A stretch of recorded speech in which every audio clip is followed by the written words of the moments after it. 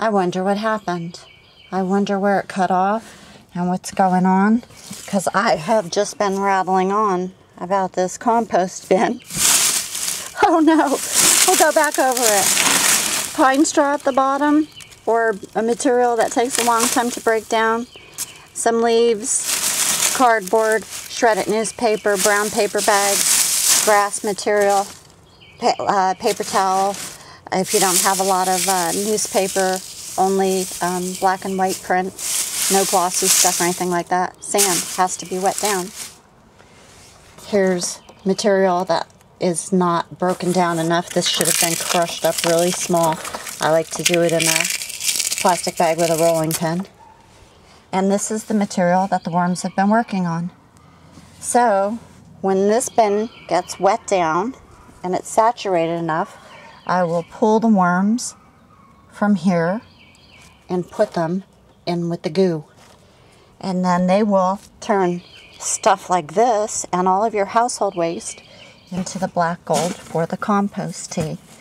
And so this type of material is what I'm after. The really dark, broken down stuff doesn't have too much solid material. Never uh, put salt from your kitchen scraps in here. And they could tolerate a little bit of citrus and a small amount of spicy stuff, onions, garlic, that type of thing. No meat, cheeses, or anything like that. If you want to compost that type of stuff, you know, put a pit out back. So I'll grab all of this big stuff that hasn't been broken down, put it over here to hold that to go into the new compost bin. And then I will uh, store my worms over in that bucket until that's thoroughly saturated and ready to go. And then they'll be dumped all in a corner together with some new stuff to munch on. Worms like to be in groups, and both are male and female, and they reproduce very quickly. And uh, I don't know if you can see them. There they are. But as soon as they start catching the light, they wanna they wanna take a dive. So that's basic, you know. Add some sand to help their digestion, like the chick Chickens need the granite, they need the sand to get everything to run through their system and keep it natural. And a couple cups of this will be added to a few gallons of water, quite a few gallons of water, probably a tub that size.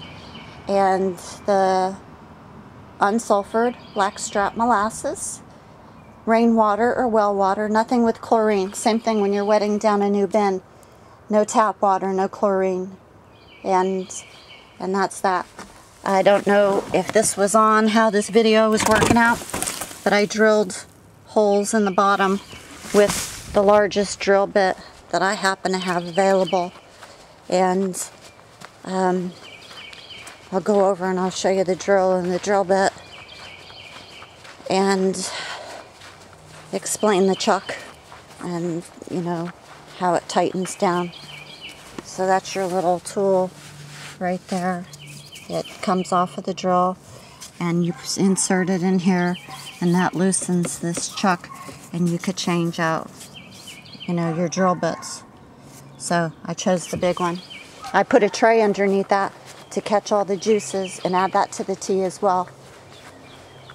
I decided to put some of the basil sprouts in there and cover it with some salvaged plate glass from the building. And then an old shower curtain, dollar store shower curtain. It's going to provide just a little bit of shade. It, it, it was all, it was supposed to be overcast today.